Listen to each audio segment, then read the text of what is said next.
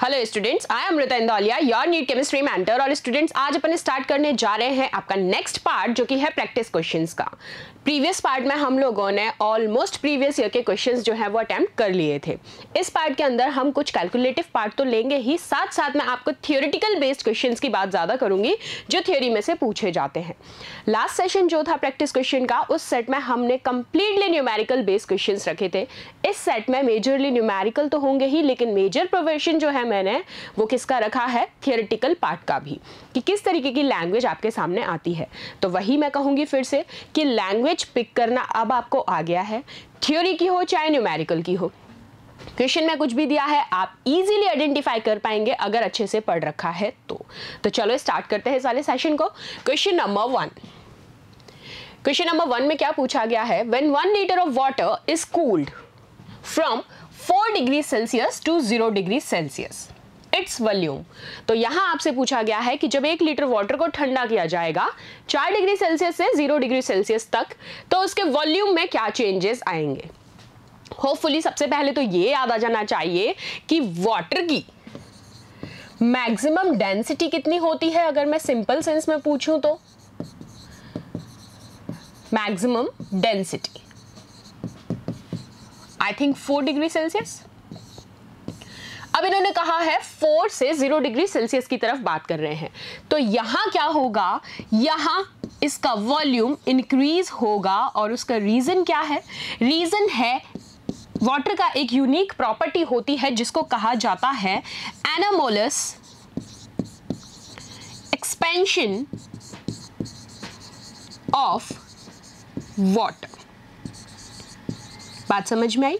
ये वाटर की एक यूनिक प्रॉपर्टी है, जिसकी वजह से यहाँ पर हम कह रहे हैं कि क्या होगा? इनक्रीज हो जाएगा। अब आपका क्वेश्चन बनता है कि मैम ये एनामोलस एक्सपेंशन ऑफ़ वाटर क्या कहलाता है?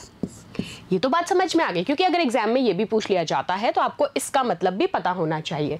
तो इसका मतलब क्या होता है कि यहाँ ये जो एक्सपेंशन है वाटर का, ये हमेशा occurs between 4 degree Celsius to 0 degree Celsius इस रेंज टेम्परेचर पे ही बात होगी और ये आपको ऑलरेडी क्वेश्चन में गिवन है। लेकिन आपको लैंग्वेज वहाँ सिंपल था। मैंने और भी फॉर्म्स बता दिए इसी क्वेश्चन के। किसी भी फॉर्म में आ जाए, आप पिक कर लोगे। तो हमारे को पता चल गया।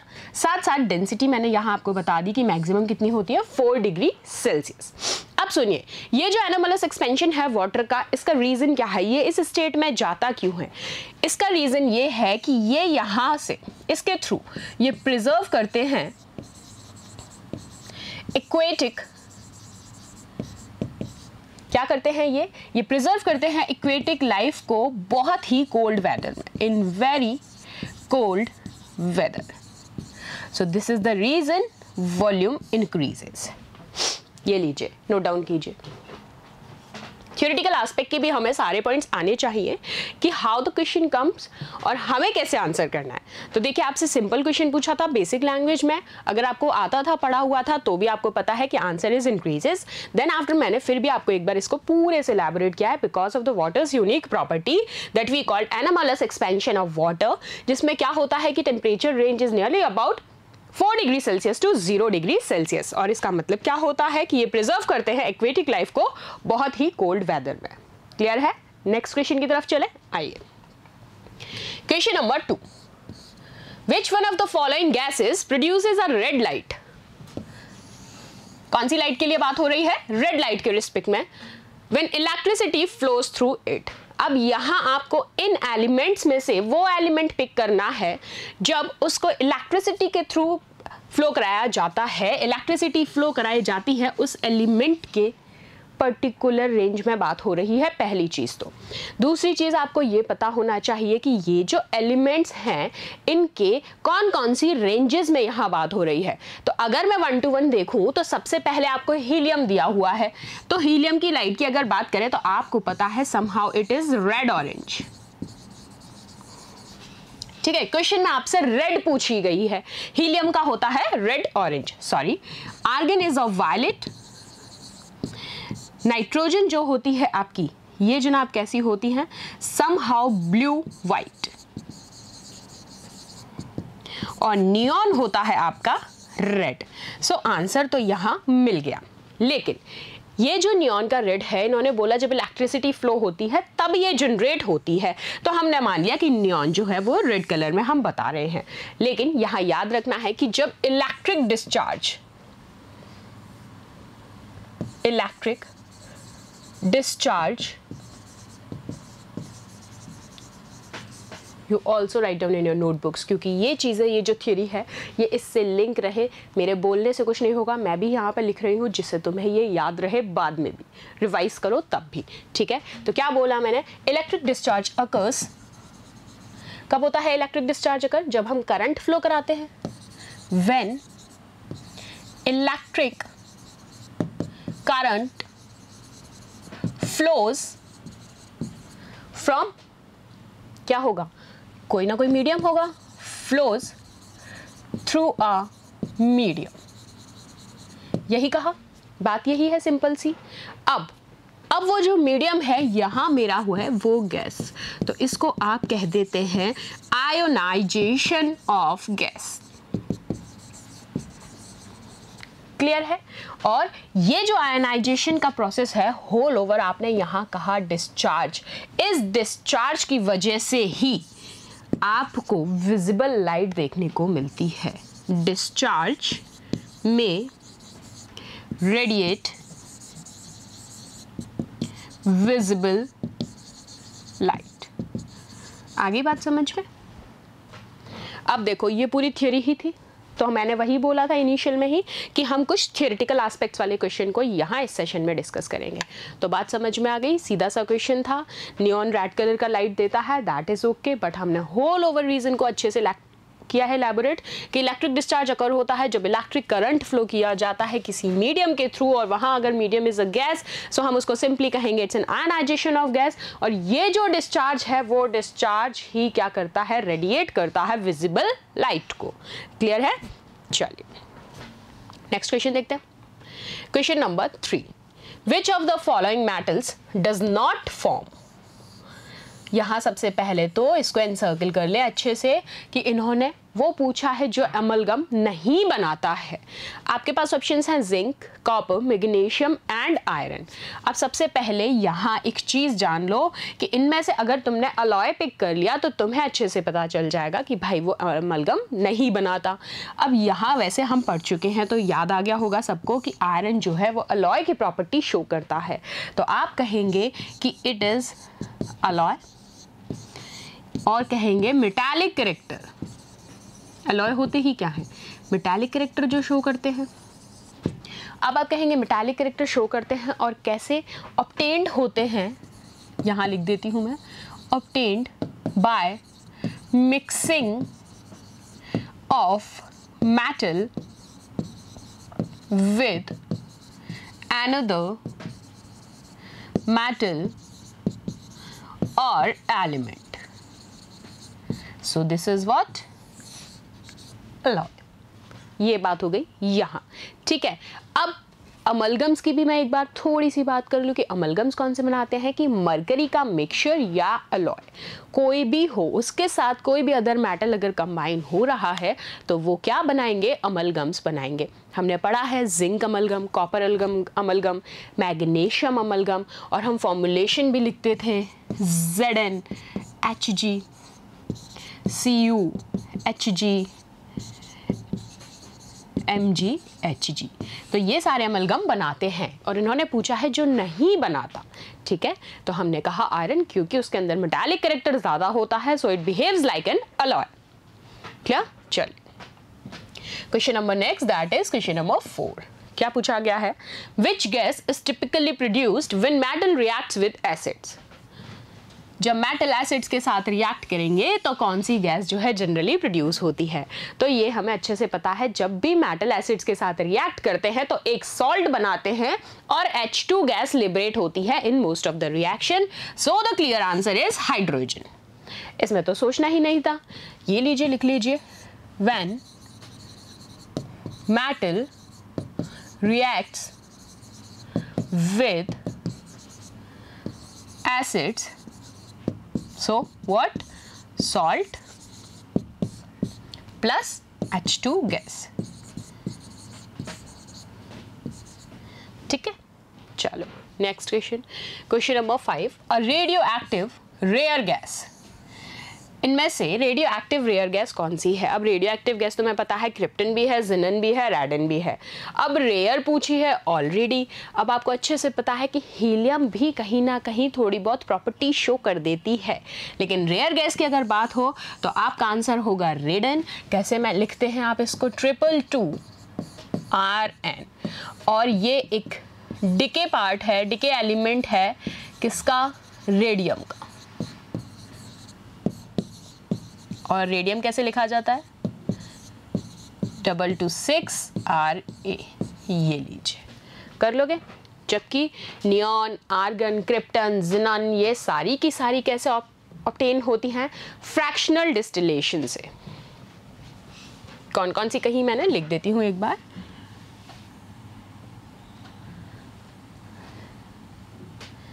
Neon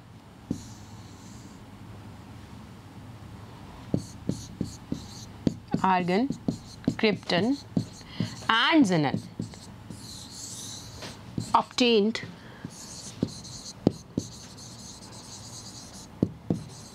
by fractional distillation. ठीक है? तो ये याद रखना कई बार क्वेश्चन पूछ लेते हैं ये भी और फ्रैक्शनल डिस्टिलेशन भी किसका? लिक्विड एयर का। ठीक है? बहुत बार ये क्वेश्चन थ्योरी में आया है, इसलिए मैंने ये यहाँ पर मेंशन कर दिया है। क्लियर है? ठीक है, याद रखोगे? नाइस बात समझ में आ गई? चलो। नेक्स्ट क्वेश्चन देखते हैं question number six which law states that the volume of an ideal gas सबसे पहले तो पिक करो क्वेश्चन में क्या क्या पूछा गया है। वॉल्यूम की बात हो रही है आइडियल गैस की। कांस्टेंट प्रेशर पे, जो कि डायरेक्टली प्रोपोर्शनल है, उसके एब्सोल्यूट टेम्परेचर के। सीधा सीधा क्या पहचानना है कि ये कौन सा लॉ है? अगर लॉज अच्छे से याद हैं तो फिर तो हम कर लेंगे। क्या कहा है? फिर से सुनिए। Which law states that volume of an ideal gas at a constant pressure तो मैं यहाँ लिख लू वॉल्यूम वो भी आइडियल के लिए बात हो रही है। एट कॉन्स्टेंट प्रेशर ये लीजिए। Is directly proportional to absolute temperature कहाँ पढ़ा था हमने ये? चार्ल्स लॉ के अंदर। ये लीजिए। क्योंकि चार्ल्स लॉ को क्या कहा जाता है? Law of volume. कर लोगे? सो so, आपने कहा लॉ ऑफ़ वॉल्यूम कहा जाता है तो V is directly proportional to क्या हो जाता है? टी ये। यहाँ ये क्वेश्चन टर्म थी जो गिवन थी उससे हमने पिक किया कि this is word this is Charles law that V also known as volume law of volume और इसका क्या होता है formulation v is directly proportional to t. Note down चलो। हाँ थोड़ा सा गला खराब है। चलो नेक्स्ट सेवन देखते हैं। Helium gas is used in balloons सबको पता है। ये क्वेश्चन भी आ चुका है कि बलून्स में कौन सी गैस फिल की जाती है। ठीक है? तो आप क्या कहते हो? सर हम तो मुँह से भरते हैं। या मैम हम तो मुँह से भरते हैं? बलून्स की बात हो रही है, जो बड़े बलून्स होते हैं, कब तक उनमें मुँह से फूंक देते रहोगे? थक नहीं जाओगे तुम। तो याद रखना, उनमें हीलियम गैस यूज़ होती है। इंस्टीड ऑफ़ हाइड्रोजन गैस अब पूछा है तुमसे, देखो, अब तक ये क्वेश्चन इतना कॉमन था, किस तरीके से पूछा जाता कि बलून्स में कौन सी गैस भरी जाती है? लेकिन अब इन्होंने क्या पूछ लिया? कि हीलियम गैस को यूज़ करने लग गए हैं हाइड्रोजन गैस की जगह। रीज़न बताओ क्यों? देख रहे हो दिमाग? मतलब इनको चाहते ही नहीं है ये कि तुम सीधे क्वेश्चंस के जवाब दो। तो कोई दिक्कत नहीं है ना? हम टेढ़े क्वेश्चंस के जवाब देंगे। रीज़न क्या है? पहली बात मैं तुम्हें समझाती हूँ कि यहाँ रीज़न है नॉन कंबस्टेबल अब इसको कर लेते हैं थोड़ा एलैबोरेट तो सुनना, मैंने कहा ये क्या है? नॉन कंबस्टेबल दूसरी चीज़ कि ये जो हीलियम है यहाँ पर हाइड्रोजन की जगह यूज़ की जा रही है। हीलियम जो है सेकेंड लाइटेस्ट गैस है। सेकेंड लाइटेस्ट गैस है, जो कि यूज़ की जाती है एज लिफ्टिंग जब भी तो आप बलून्स में इसको फिल कर रहे हैं तो कोई दिक्कत नहीं है. इवन आप कह सकते हैं अट्रैक्टिव गैस फॉर लिफ्टिंग चलो साथ साथ एक और चीज़ याद रखनी है, कि ये नॉन सॉरी ये आज के टाइम में हाइड्रोजन की जगह रिप्लेस करके यूज़ की जा रही है और यही क्वेश्चन में कहा गया है. तो याद रखना, बाकी की जो गैसेस हैं कौन सी गैस H2 की बात हो रही है। H2 के रिस्पेक्ट में ही चल रहा है डिस्कशन H2 क्या है? जैसे ही एयर के कॉन्टैक्ट में आती है और एयर में क्या है? सराउंडिंग ऑक्सीजन के कॉन्टैक्ट में आते ही उसका इग्नाइट हो जाती है ईजीली यानी कि आप कह सकते हैं कि somehow not an explosive nature but easily ignite हो जाती है जस्ट बिकॉज़ एयर के कॉन्टैक्ट में आते ही सराउंडिंग ऑक्सीजन के साथ। सो so, इसकी जगह हमने रिप्लेस करके अब किसको यूज़ करते हैं? हीलियम को। That is also an second lightest gas and that is an attractive gas for lifting items like in you can balloon को इजीली उठा सकते हो। भारी थोड़ी हो गया बलून सो so, वही कहा गया है। तो नोट याद रखना। मैं मेंशन कर रही हूँ। लिखे इग्नाइट इजीली क्योंकि देखो ज़रूरी नहीं क्वेश्चन में अभी तो बहुत सिंपल फॉर्म में पूछा था तो आपने पिक कर लिया नॉन कम्बस्टिबल हो सकता है आपसे ये रीज़न भी पूछ लिया जाए, जो मैंने अब मैंशन कर रही हूँ. Ignite easily when come in contact with the surrounding air, that is O2 समझ गए बात? तो इस फॉर्म में आ जाए तो बता दोगे, इस फॉर्म में आ जाए तो बता दोगे और एक फॉर्म तो सामने आ ही गया। तो कर लेंगे हम हर तरीके से इसको solve good next question question number eight maximum deviation from ideal gas behaviour is expected from इनमें से कौन सी गैस है जो आइडियल गैस बिहेवियर से मैक्सिमम डेविएट होती है। अब आपको उसको यहाँ पर पहचानना है। तो सबसे पहले क्या मैं तुम्हें एन थ्री की अगर मैं बात करूँ, क्योंकि आंसर तुम्हें भी पता है, हम इस चीज़ को ऑलरेडी थ्योरी में डिस्कस कर चुके हैं। तो वही सारी चीज़ें यहाँ मैं बोलूँगी जो थ्योरी में भी पढ़ाई थी। क्या? कि आइडियल गैस जो होती है, ideal gas does not does not liquefy easily at, does not liquefy easily at या अंडर प्रेशर सो एट हटा देते हैं अंडर ज़्यादा अच्छा लग रहा है। अंडर प्रेशर सो आपने कहा, यहाँ पर, क्योंकि इसमें इजीली ये लिक्विफाई नहीं होती देयरफॉर या फिर since there is no FOA no force of attraction इस फॉर्म में भी क्वेश्चन पूछा जा सकता है। समझ रहे हो मेरी बात? इसलिए एक एक चीज़ जैसे मैं मेंशन कर रही हूँ, तुम्हारी कॉपी में मेंशन हो जाना चाहिए। आप कह रहे हैं कि आइडियल गैस इजीली लिक्विफाई नहीं होती है। इस वजह से यहाँ पर क्या होता है? कोई फोर्स ऑफ़ अट्रैक्शन नहीं होता बिटवीन मॉलिक्यूल्स ठीक है? अब यहाँ पूछा है कि इनमें से कौन सी गैस है जिसका मैक्सिमम डेविएशन होता है आइडियल गैस बिहेवियर से? सो so, आपने कहा NH3 और NH3 का रीज़न क्या है? NH3 का रीज़न लिखिए। Strong intermolecular force of attraction between them because of this it maximally deviate from ideal gas behavior. Strong inter short में लिख दूँ? फुल फॉर्म तो तुम्हें पता है। Strong I M F between them.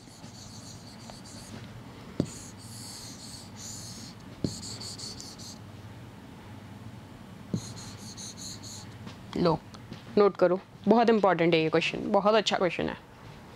लिखो नोट कर लो। तो देखो, इस तरीके से लैंग्वेज आनी चाहिए। मैं तो मैं यहाँ पर जितनी भी थियोरिटिकल एस्पेक्ट में ब्रीफिंग कर रही हूँ तो एक दो क्वेश्चन उसी के पैरल और समझा रही हूँ। उसी क्वेश्चन से रिलेटेड मतलब क्या है कि इस लैंग्वेज में पूछ ले।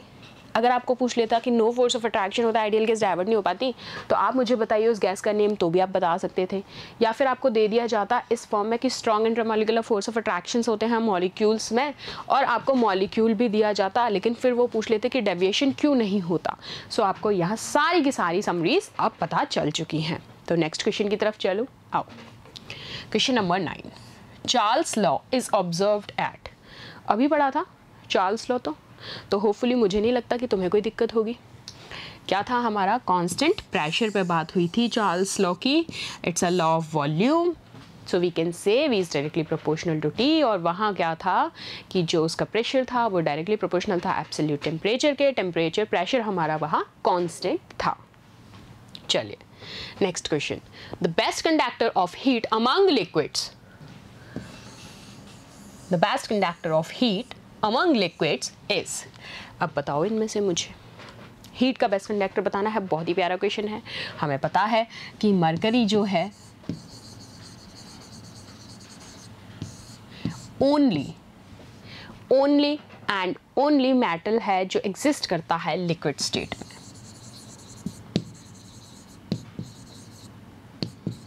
That exist in liquid state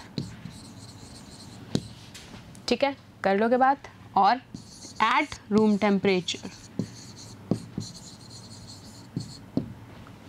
चलो। और रूम टेम्परेचर की रेंज भी अगर पूछ लेते हैं, वैसे इतना बात बहुत है, अगर रेंज पूछ लेते हैं तो 20 से 25 डिग्री सेल्सियस थर्मोमीटर्स में यूज़ किया जाता है। ये तो हमको सबको पता है। सिंबल क्या होता है? एच जी और ग्रीक वर्ड इसको है हाइड्रे गायरम अब ये पूछ ले तो भी बताया ना।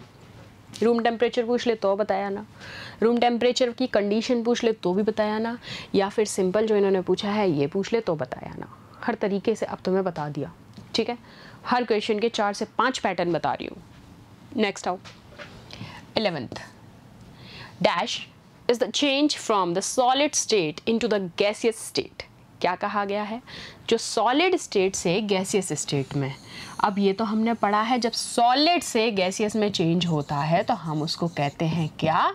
सब्लीमेशन तो देख लो कहाँ है सब्लीमेशन फ़र्स्ट ऑप्शन ही है। अगर बात की जाए किसकी? कंडेंसेशन की। तो आप लिख लो इधर, गैस से जब आप लिक्विड में कन्वर्ट करते हैं, उसको कहते हैं क्या? कंडेंसेशन सॉरी उसके आगे लिख दिया मैंने सब्लिमेशन के आगे।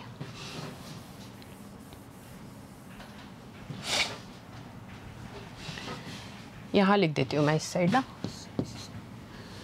Gas to liquid. फ्यूजन क्या होता है? प्रोसेस ऑफ़ मेल्टिंग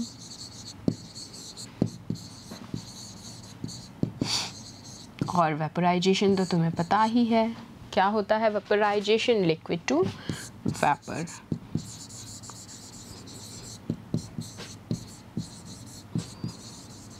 कर लोगे? कोई दिक्कत नहीं है। चले। Next graphite and diamonds are ये तो कितने टाइम से पढ़ते आ रहे हो दो आर एलोट्रॉप्स ऑफ़ कार्बन किसके एलोट्रॉप्स हैं? कार्बन के एलोट्रॉप्स हैं और एलोट्रॉप्स की डिफिनेशन क्या थी? जिनकी डिफरेंट स्ट्रक्चरल फार्मूला होता है सेम एलिमेंट का और डिफरेंट ही केमिकल और फ़िज़िकल प्रॉपर्टीज़ भी होती हैं। लो, लिख देती हूँ।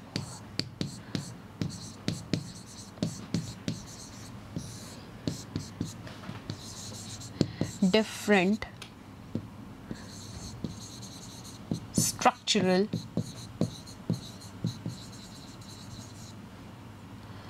Formula of same element and different chemical and physical properties. ठीक है? हाँ क्वाइट डिफरेंट भी कह सकते हो, लो। कर लोगे? चलो नेक्स्ट क्वेश्चन देखते हैं। The volume of one mole of the gas at critical temperature volume of one mole of gas at critical temperature is उसको आप क्या कहते हैं? उसको आप कहते हैं बेटा क्रिटिकल वॉल्यूम क्योंकि आपको पता होना चाहिए कि जो क्रिटिकल टेम्परेचर है वही कहलाता है highest temperature highest temperature at which liquefaction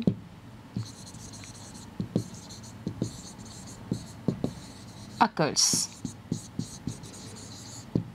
ठीक है? ये कर लोगे? और अगर by chance in case temperature भी बच लिया जाए तो याद रखना 30.98 डिग्री सेल्सियस।